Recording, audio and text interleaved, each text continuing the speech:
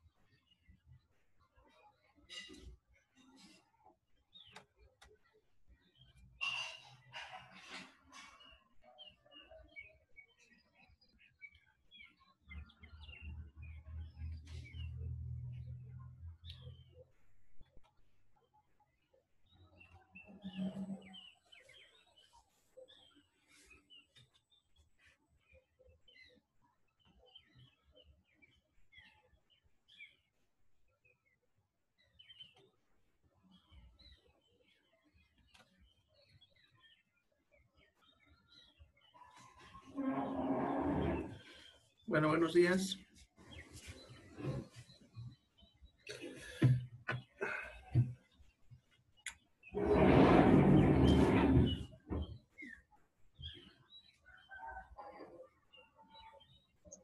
Buenos días, doctor. Bien. Entonces, mientras vamos ajustando y mientras van entrando los faltantes, una pregunta de ayer.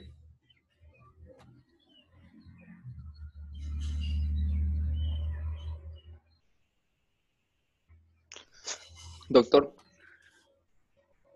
Sí, habla, este, ayer al enviar la tarea no, no enviaba, tuve que hacerlo tres veces. ¿Cómo? El cuestionario me costó hacerlo tres veces. Ah, ya, no se preocupen, basta con hacerlo una vez nomás. Eso es porque me olvidé tiquear de no repetir la, la encuesta. Ya lo... no, no enviaba, Sí, he enviado. No enviaba. Envía, Ah, envía. No se preocupen. Yo, yo envié mi, yo envié mi cuestionario como dos veces, creo.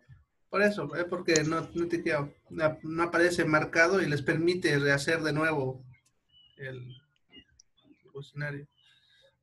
Ah, ya. Eh, Así tengo varios repetidos. Me sale ahí que han hecho tres veces o cuatro veces.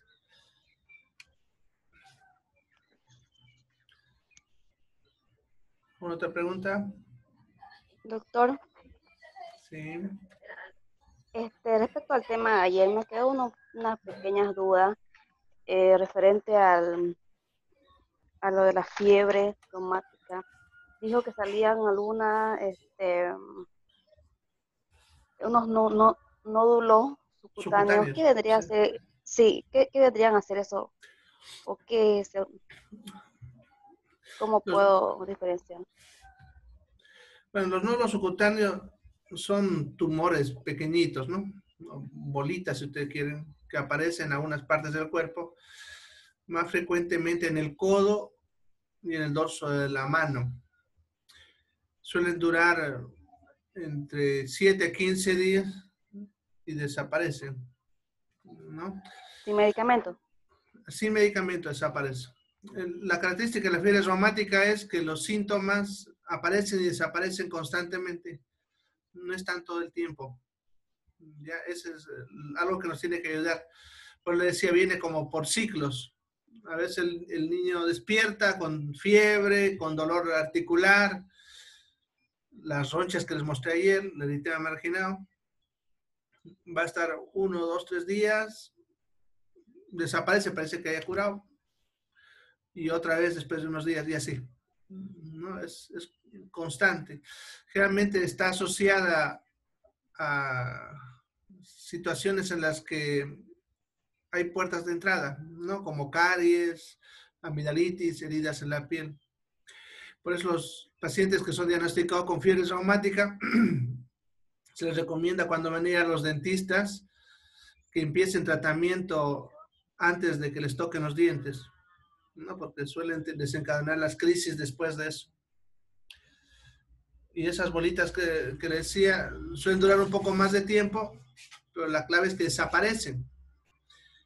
¿no? Porque si no desaparece más de 15 días, ya hay que pensar en otro tipo de tumor. Y otra consulta más sobre los movimientos involuntarios del video del niño que nos mostró ayer. Sí, ¿Es porque ataca el sistema nervioso o a qué se deben esos sí, movimientos? sí, es por eso. Ataca el sistema nervioso. Es lo que decía rato, oh, perdón, la clase de ayer, son anticuerpos nuestros que deberían atacar la bacteria, pero porque tiene el parecido con una proteína de nuestras propias células, nos atacan también en diferentes partes del cuerpo. ¿no? Lo más preocupante es justamente el corazón y el sistema nervioso. De todas maneras, eso que has visto, eh, una vez que se trata, desaparece completamente. ¿no?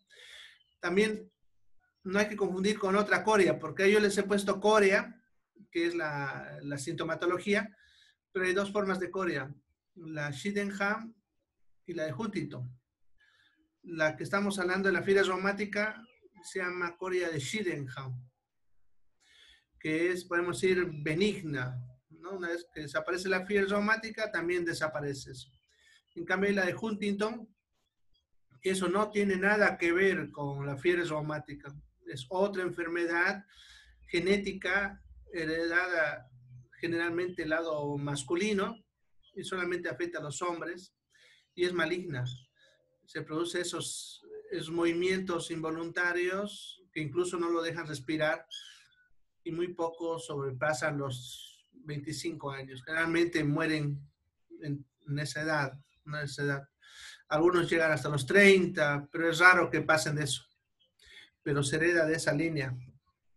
Es otra enfermedad. ¿Alguna otra preguntita? Y, y otra vez, y sobre el, el contagio de la, de la neumonía, vía de transmisión para la enfermedad. Bueno, de lo que estamos viendo, el estreptococo no se contagia. Ya, porque acuérdense lo que les dice, estreptococo vive con nosotros, en nuestra piel, en la boca, está esperando una puerta de entrada nada más. Pero está ahí con nosotros, o sea, esa no es de contagio. ¿ya? Ahora, hay otras neumonías que pueden ser de contagio, ¿no? Como la que está de moda ahorita, el famoso COVID, que esa sí es de contagio, ¿no? Es también una neumonía. ¿ya? En este caso, el estreptococo no es contagio, vive con nosotros. ¿ya? Sí, ¿por qué los niños recién nacidos presentan respiraciones más elevadas? ¿por qué recién nacido qué cosa? Presentan respiraciones más elevadas. Ah, normalmente mm, lo que pasa es que cuando nacemos, nuestra tasa metabólica es más elevada, ¿no? Eso se regula por hormonas de crecimiento, hormonas tiroideas y otras cositas. Entonces, todo lo que es proceso metabólico acelerado aumenta también funciones de otros órganos. No solamente acelera el crecimiento, sino también va a hacer que el corazón lata más rápido, respiremos más rápido, el riñón trabaje más rápido, así. O sea, la tasa metabólica es más alta al momento de nacer y va disminuyendo con los años. Ya, generalmente los primeros años es donde más alta tasa metabólica tenemos. Por eso están los límites que les puse ayer para neumonía. ¿no? Eh, eso que han visto es un esquema para sospechar rápidamente de neumonía. Porque cuando queremos evaluar la frecuencia respiratoria o cardíaca normal en un niño, se usa una curva. No se usa en realidad datos así secos como, como eso que se compartió ayer. ¿Ya? Manejamos curvas parecidas a las curvas que han debido ver en las tarjetas de vacunación para control de talla y peso. Así. Entonces, por, por, por cada edad se ve cuál es su frecuencia respiratoria y cardíaca. Y es más elevada los menores, ¿no? Pero eso de ahí está hecho para que sea fácil de memorizar y sospechar de neumonía, ya que la primer causa de muerte en menores de 5 años es la diarrea. Y la segunda causa es la neumonía. Por eso hemos buscado esquemas fáciles para que incluso personal que no sea médico pueda diagnosticar rápidamente una neumonía y así evitemos que los niños mueran.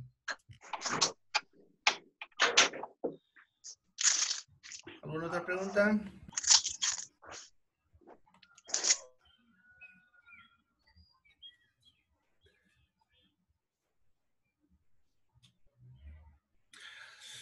Una neumonía, me están preguntando, dice, yo he sufrido una neumonía desde los ocho meses de nacida. Bueno, mm, no tiene que ver en sí con que si la madre se cuidaba o no se cuidaba. Como decía, el momento que nosotros nacemos, esta bacteria coloniza nuestra piel, porque vive en la piel. ¿Ya? Y a partir de ahí la vamos a tener de por vida.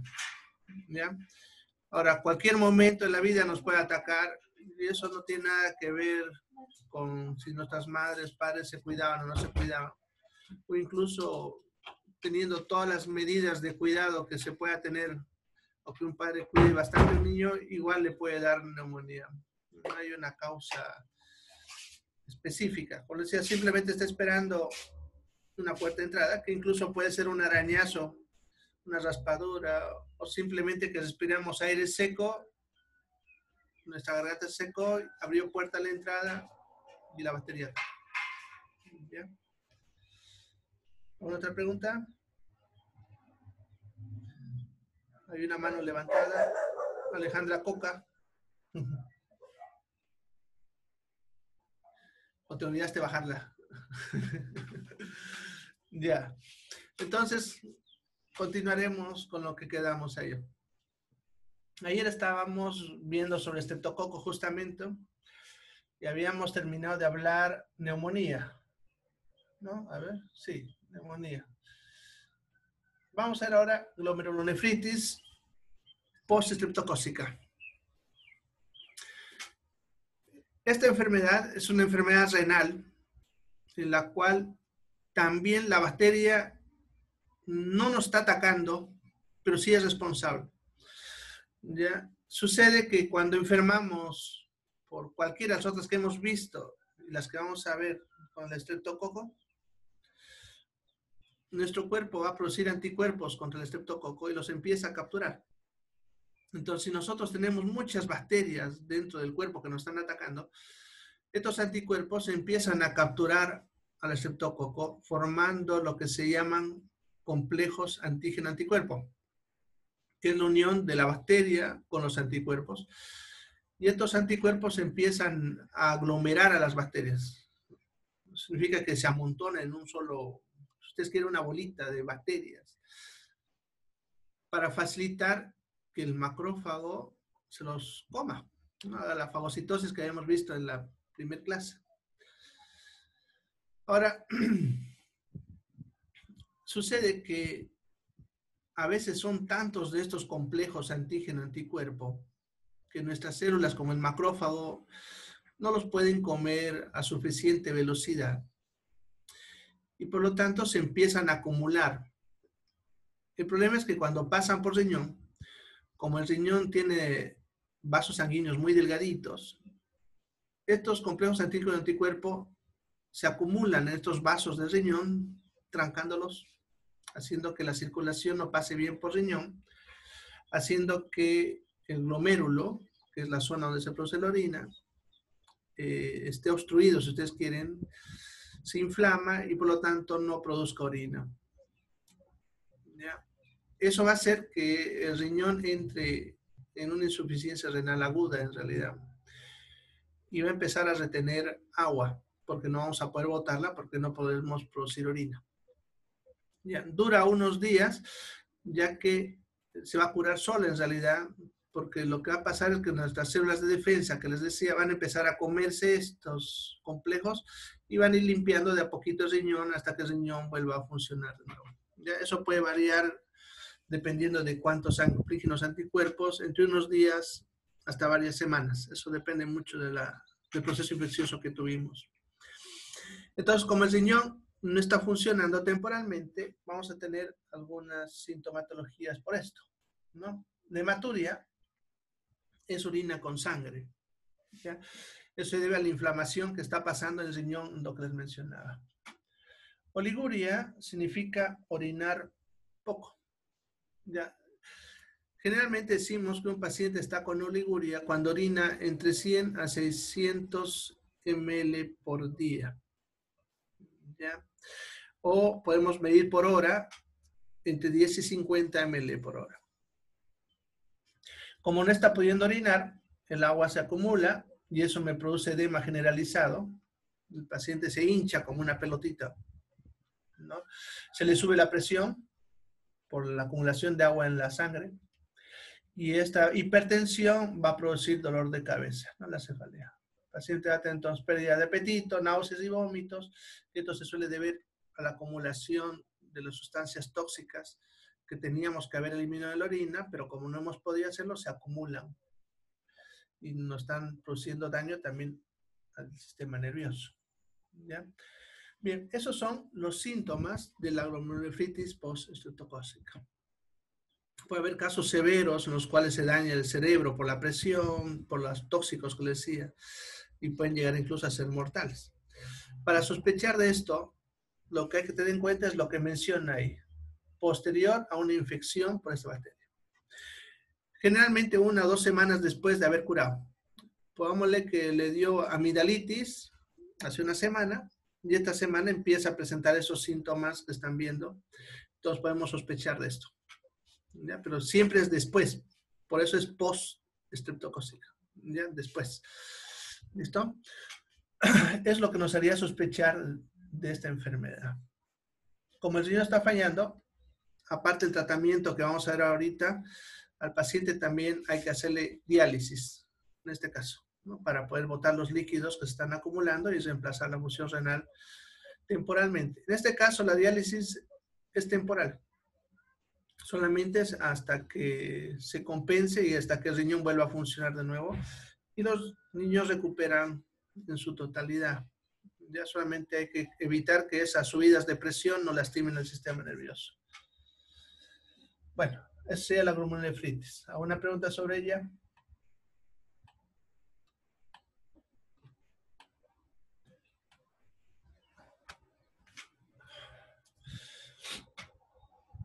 Bueno, otra enfermedad producida por esta bacteria es la piodermitis. La piodermitis es cuando la bacteria ingresa a la piel, pero no la atraviesa en su totalidad. O sea, hay una pérdida de continuidad, es una herida, una sumidora, lo que ustedes quieran, pero esta no ha atravesado la totalidad de la piel. ¿ya? O sea, solamente ha atravesado las capas más superficiales de la piel. Por lo tanto, no ha llegado a penetrar por completo la piel. Entonces, la infección es más superficial.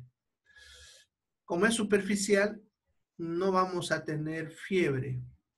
Ya, eso también hay que tenerlo en cuenta. Se caracteriza por pústulas, como están viendo, rodeadas de eritema. No sé si le expliqué pústulas. Creo que cuando hablamos antrax allá en el instituto, les expliqué. De todas maneras, por si acaso, por si han olvidado. Una ampolla, como las que ustedes se han quemado una vez y han hecho una ampollita, para que se le llame ampolla, tiene que ser mayor a medio centímetro. Cuando es menor de medio centímetro, se le llama vesícula, aunque es lo mismo, pero le llamamos vesícula. Y si esa vesícula tiene pus, se le llama pústula. Entonces, una pústula, están viendo, es como una pollita pequeñita con pus adentro, ¿no? La piel de alrededor se suele tornar rojita, por eso dice eritema, ya alrededor, ya. Y a veces estas vesículas, estas pústulas se rompen y en el lugar se forma una carachita, una costra, que si la levantamos, debajo sigue habiendo pus. Pero no profundiza más de eso, es así. Son los niños que van a ver que tienen carachitas por aquí y por allá.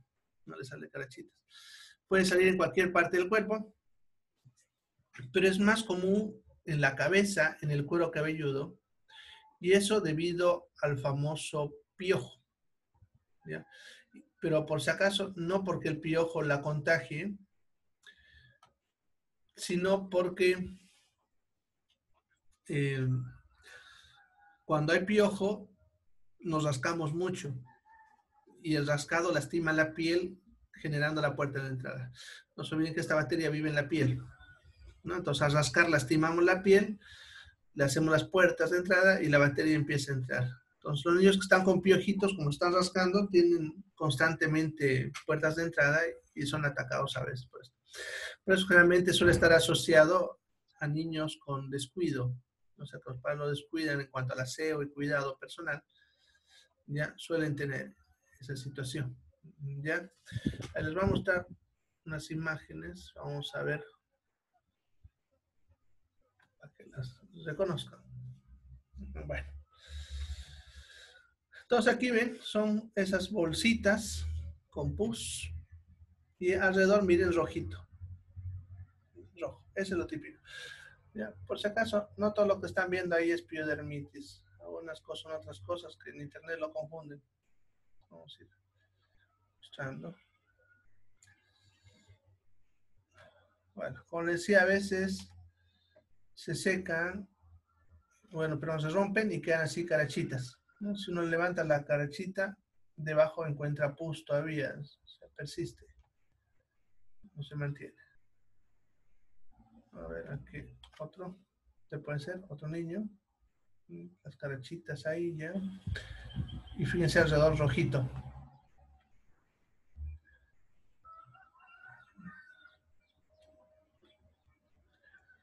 Ahora, había uno por aquí que era de cerquita, pero bueno, este es- nos puede servir. Ya, aquí están viendo las bolsitas con pus y alrededor rojito. Rojo. ¿Ya? Pero siempre son varias, no suele ser uno. ¿Ya? Si ustedes ven que es rojito y la bolsita tiene pus, eso es piodermitis. Porque si la bolsita tiene líquido transparente, como esta, por ejemplo, eso no es piodermitis. Ya puede ser varicela, herpes, otra cosa. Eso es importante, ver que el líquido que hay adentro tenga o no tenga pus. Si tiene pus, es lo que estamos hablando. Y si no, puede ser otra cosa. Ya que vamos a ir viendo más adelante también qué es. Bueno. Entonces, esa sería la piodermitis. ¿Ya? La celulitis. ¿Han escuchado hablar de la celulitis?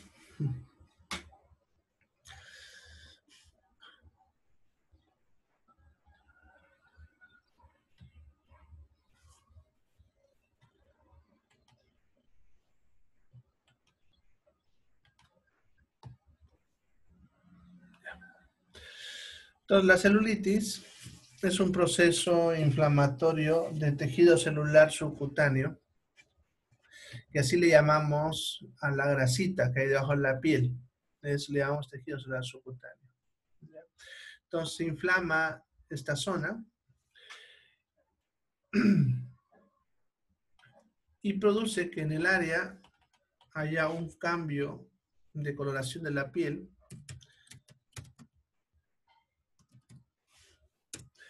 haciendo que la zona se torne más roja, lo que es el eritema, se hinche, lo que es el edema, se va a poner caliente, ¿no? Y va a haber dolor.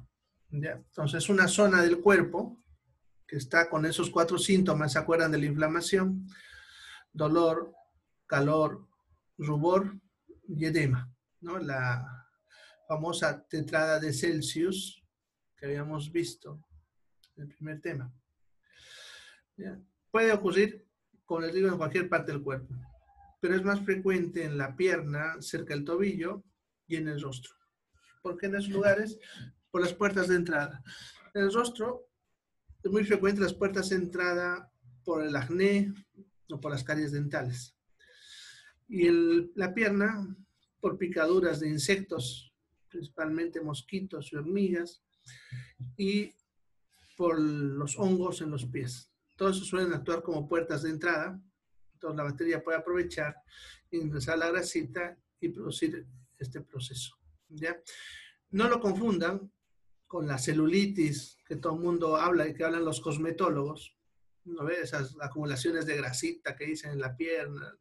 Entonces, es un término mal usado por los cosmetólogos, pero tampoco les vamos a pelear eso, ¿no? Entonces, lo que estamos hablando es un proceso infeccioso. Ya no lo confundan con la otra celulitis que la gente comúnmente habla. A ver. Bueno, ahorita vamos a... Primero hablaremos de la erisipela. La erisipela es una complicación de la celulitis en la cual el paciente va a tener lo mismo, esa zona va a estar roja, caliente, dolorosa, hinchada, pero la bacteria está empezando a botar toxina y eso daña la piel. Y empiezan a aparecer vesículas o ampollas sobre esa zona afectada. O sea, igual que la celulitis, pero con vesículas ampollas. El líquido de estas vesículas y ampollas al principio suele ser claro, pero luego se va tornando más hemorrágico, de un color rojo, por la sangre que va entrando ahí. Y si no se cura a tiempo, se tornan de un color marrón. Y cuando llega a este punto, aun cuando cure, generalmente la piel queda con esa marca, ¿no? De ese color marrón de por vida. La erisipela es un cuadro grave, peligroso, porque si la bacteria está botando toxina, significa que cualquier rato puede producir una descarga masiva de toxina, produciendo el síndrome del shock tóxico, que puede producir la muerte del paciente. Entonces, una erisipela, comparada con una celulitis, una es grave y necesita internación. Casi siempre es pelea eso con los pacientes porque ellos están caminando bien y todo, y cuando uno les dice que hay que internarlos, nos miran con cara que queremos sacarle plata. No, así, pero es porque así es nuestra gente, ¿no? Pero el problema está en que la, la erisipelas, si es que le da el síndrome que le está hablando de shock tóxico en la casa, no van a llegar al hospital. En cambio, si están internados, vamos a poder salvarlos o tienen mejor probabilidad de vida. De estos pacientes. Entonces, eso hay que tomarlo en cuenta.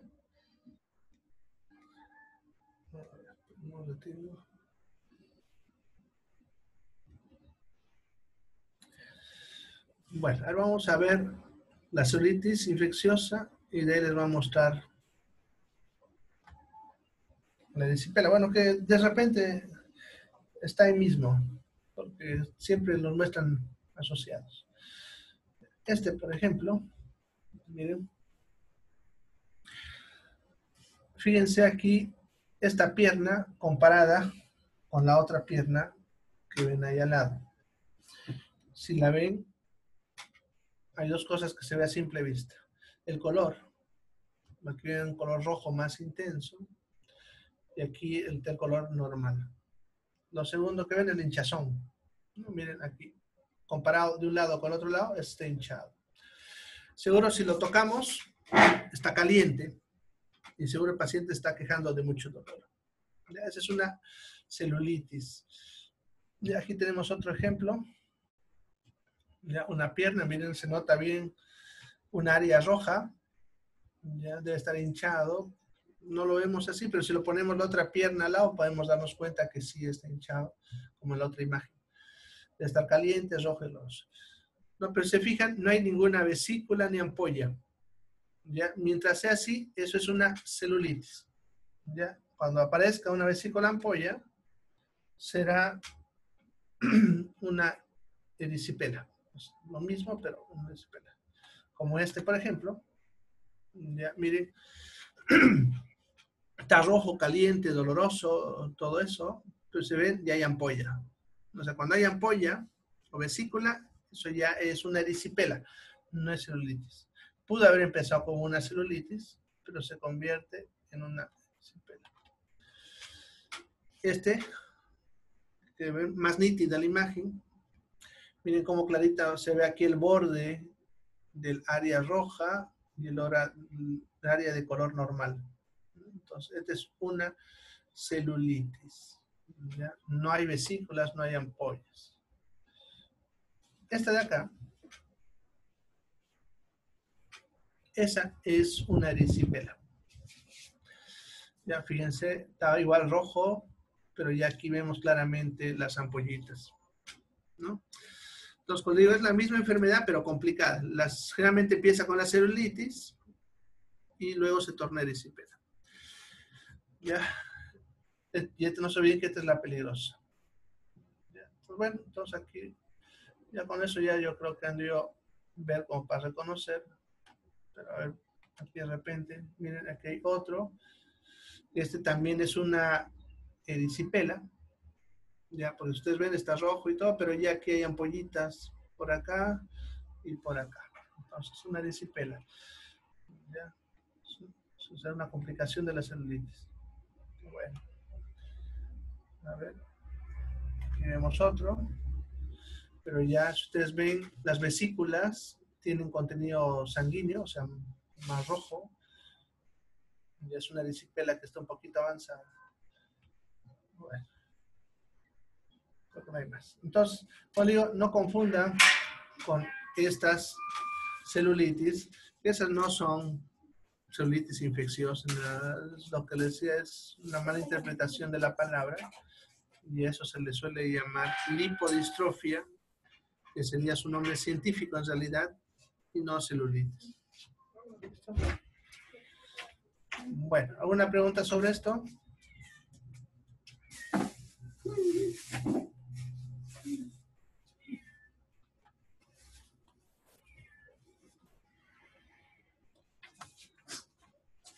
Pregunta nomás, Alejandra. Está, está abierto tu micrófono. Doctor, eh, ¿aparece eso en cualquier parte del cuerpo o solamente en la extremidad baja? En cualquier parte. Va a aparecer en cualquier parte del cuerpo. Pero van a ver en internet bastante fotos de piernas, porque es lo más común. ¿no? Lo más frecuente en la pierna por encima del tobillo y en el rostro. Pero puede aparecer en cualquier parte, en la espalda, en el tórax. La cosa es que hay una puerta de entrada. ¿no? Y por ahí empieza. A veces incluso en heridas, te hiciste una heridita, algo, y a partir de la herida puede empezar toda la celulitis hacia alrededor. En pacientes que han sido operados, por ejemplo, en las heridas quirúrgicas, a veces después de unos días, eh, como ya cicatrizado, pero superficialmente de repente se ha abierto, entonces puede eso generar otra vez la puerta de entrada y empezar una celulitis alrededor de la cicatriz. ¿Ya? Pero puede ser cualquier parte del cuerpo. ¿Cómo se puede prevenir? Bueno, podemos decir que es un poco difícil prevenirlo porque, como digo, las puertas de entrada estamos hablando, muchas no se ven. De todas maneras, hay cositas que podemos hacer, ¿no? Como evitar que nos piquen los insectos, como los mosquitos, no porque ellos lo contagian, sino porque nos hacen puerta de entrada. No se olviden, ¿no? Mantener los dientes bien cuidados, ya que por las caries es donde entran. Y cuando surgen los granos, como decimos, de la cara o de cualquier parte del cuerpo, el acné, tener mucho, mucha limpieza, podemos decir, mucha antisepsia ¿no? de la zona para no dejar una puerta de entrada que sea aprovechada por las bacterias. ¿Ya? Sí, tal vez podemos prevenir. Pero independientemente, de- por más cuidadosos que seamos, nos va a aparecer en algunos casos, ya que no podemos estar controlando cada milímetro de nuestro cuerpo. ¿no? Pues puede pasar ocasionalmente. Ahora, de que algunos se van a curar sin medicamento, sí, también. Acuérdense que hemos dicho que nuestro sistema de defensa puede tranquilamente contener a las bacterias, entonces pudiésemos curar sin necesidad de tratamiento. Pero en el caso de la erisipela, ya acuérdense que es grave y es urgente empezar tratamiento. No, eso yo les, digo porque no falta el paciente que me dice que se va a ir a curar con sapo. Ya, porque van a escuchar que es ese mito, que si lo frotan con un sapo, se cura, ¿no? No, es que, no es que se cure, pero tengan en cuenta que se puede curar solo. O sea, que nuestro sistema de defensa puede defender bien y curarlo, ¿no? El, problema no es ese, el problema es el riesgo del paciente que tiene de hacer el síndrome de shock tóxico y morirse. Porque si le toca en casa, como les digo, no llega al hospital. Entonces, por eso nosotros nos apresuramos a internarnos y empezarle antibióticos, ya, aun cuando pudiese curarse solo, ya, por el riesgo que estos pacientes tienen de fallecer. Se va a cortar en unos segundos. Nos vemos en la siguiente, en el número 2, ya, la parte 2, perdón. Ya, y mientras van entrando, voy respondiendo las preguntas que van a ir haciendo, ya hasta que van entrando. Bueno, vamos. saliendo buen en día. Ah, ¿Sí? Soy yo, Luz Marina. Dime. Un ratingo, es que tengo un Jorge desde el otro día que estoy preguntando, está solo conectado con Jorge, pero no sé quién es, no me dice qué apellido es, y en la lista tengo dos Jorge, así que no sé cuál de los dos ponerle asistencia.